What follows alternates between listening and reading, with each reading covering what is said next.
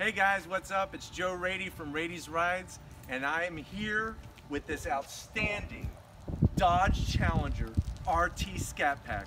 I want to give a big shout out to my buddy John for allowing us to borrow this amazing vehicle for today's review. So I know a lot of you are probably saying, where's the Dodge Challenger Hellcat? How come this Challenger? Well, guess what? By the end of this video, you're gonna know that the Dodge Challenger RT Scat Pack is gonna be the better all-around performer than the Challenger Hellcat. Let's talk a little bit about the history of the Dodge Challenger. Dodge Challenger came out back in the 1970s. In 1970, right at the pinnacle of the muscle car era, is where we see Dodge bring out this amazing vehicle. It was produced from 1970 to 1974. And I don't know if you're aware, but what wound up happening was the reason why they killed off the Challenger, as many of the other muscle cars were killed off, is because of the government's EPA and the tight restrictions on fuel economy and emissions that caused these awesome beloved cars to disappear from the market. Now there was a time in 1978 when Dodge brought back the Challenger nameplate, but we're not going to talk about that because just like a lot of other cars that were made in the late 70s, those are better to be forgotten. Now fast forward to 2008, Dodge Challenger is back again, and as you can see, it is back even better. This is a 2016 Challenger RT Scat Pack in that wonderful, glorious B5 blue. Let me show you that we're gonna start off, I think the best place is at the front. Let me go ahead and show you the front of this vehicle here.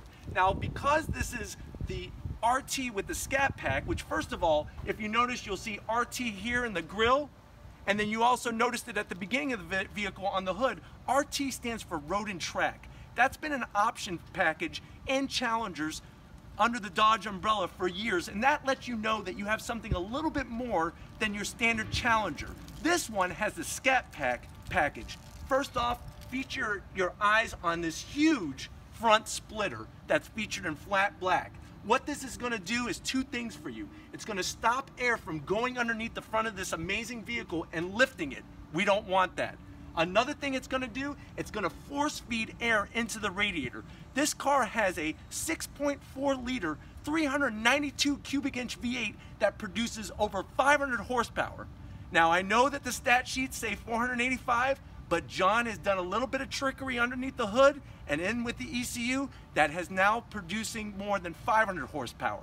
If you notice here, this beautiful satin finish accents on the grill. this isn't something that Dodge just threw on there because it looks good. This actually ties it back to those 1970 Dodge Challenger muscle cars. And as you can see, just perfectly finished, just like in the past. Let's work our way to the side of the vehicle. As you can see, that B5 blue, just so you know, if you want it, too late, it's gone. 2016 was the last year that they produced the B5 blue paint job. And I'm telling you right now, with the traditional muscle car flat black, it really makes this car pop in the sun. Let's go ahead and keep working our way around the side here. Focus on these front wheels. These wheels are 20 inch forged aluminum wheels that only come on the Scat Pack. Forged is gonna be lighter than cast, lighter wheel, better performance. If you can zoom in a little bit here, right behind the wheels are Brembo brakes. Now, everybody's so concerned about how fast can you go? How fast is this car? How much horsepower does it have? Guess what, guys? After the race is over, we gotta slow down. These Brembo brakes, they are known as the best in the industry. Four piston calipers in the front, two pistons in the rear, and if you look closely, they even have fully vented, and you see those lines there? Those are the grooves to help dissipate the heat because just like in the engine compartment, heat for the brakes is a bad thing. Let me go ahead and show you real quickly the Bumblebee, the famous Dodge Bumblebee, 6.4 liters. If you see this car pull up next to you, you might want to think twice if you see this emblem on the side. That means it has the Scat Pack, which is going to have that 392 cubic inch monster of a motor. So it may not wind up good for you if you go to race them. Let's work our way down the side. As you can see, the beautiful muscle car lines are so clear and present. I'm telling you right now, I don't care if you're a Mustang fan, I don't care if you're a Camaro fan, Dodge hit it out of the park with getting their styling to be just like the classic 1970s Challengers. Mustangs are close, and I don't know about you, but those Camaros look like Transformers. This car is just muscle car beautiful. Let's keep working our way down the side here, and as you can see, the glimmering of that B5 blue. Let's check out the rear. Now, 2016 was an important year for the Challenger. Since 2008, the car has basically been the same, and to the untrained eye, you may think that it still is the same, but there were two distinct differences. The changes up the front, which I showed you already, and the changes here in the rear. They really cleaned up the rear. They gave us these two beautiful LED taillights. These are reminiscent of those previous Challengers from the 70s. And to top it all off, check out this huge flat black spoiler. This is part of the Scat Pack package, fully functional. It's not all show and no go. At speed, this is gonna give you some downforce to keep that tail down so that you're not spinning up your tires. Just look at it. Look at the beautiful exhaust finishes. Dodge really did their homework with this. They did not rush the program. They waited and they did their time and their homework.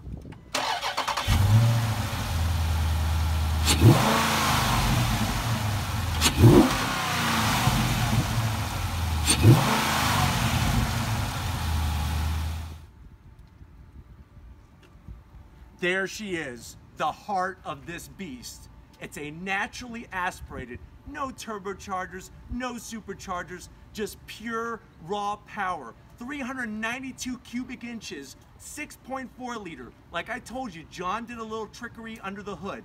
What he did was he put a cold air induction system on it. Right here is the cold air induction system made by AIRAID. What this does is it helps feed cold air into the engine those hood ducts that you probably saw on the hood at the start of the video, those hood ducts are functional. It's gonna bring air from outside into the engine, and that's the problem, guys, is the hot air. We don't want that air being hot when it goes into this motor because cold air is more dense. The denser the air, the more power you're gonna get. So with the AIRAID system and some trickery that he's been doing with the tuning of the computer on this car, it puts out 500 horsepower. This car, with this setup, you're looking at 0 to 60 in 4 seconds. Yes, you heard that right. 4 seconds and a quarter mile time of 12.5. Just so you know, quarter mile, 1,320 feet. It's amazing that this kind of power can be taken out of this engine. And like I said, it's about the drivability. Yes, the Hellcat has more power. Yes, the Dodge Demon has more power. But this car, to daily drive each day, you're gonna get decent fuel economy, and guess what? You're gonna get the power to the ground because like I keep saying, your car can make a million horsepower. If you're just spinning the tires, you're not going anywhere.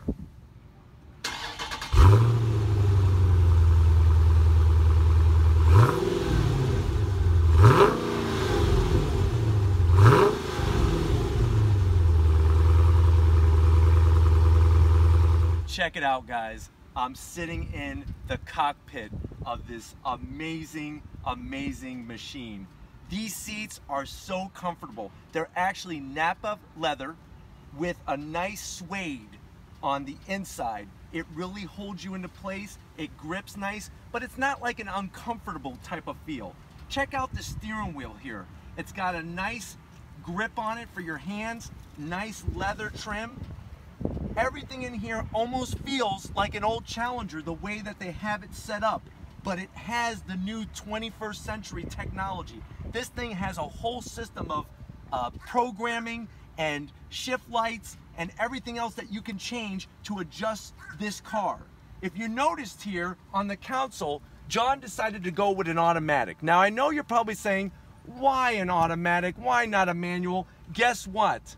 This TorqueFlite transmission. It's an eight-speed transmission. We live in a world today where the technology is better than the actual human shifting. So with this eight-speed automatic transmission, he's gonna get that over 500 horsepower to the rear wheels, and it's gonna be consistent. So when he does go to the drag strip, he'll always turn those consistent times instead of maybe missing a shift or shifting too slowly.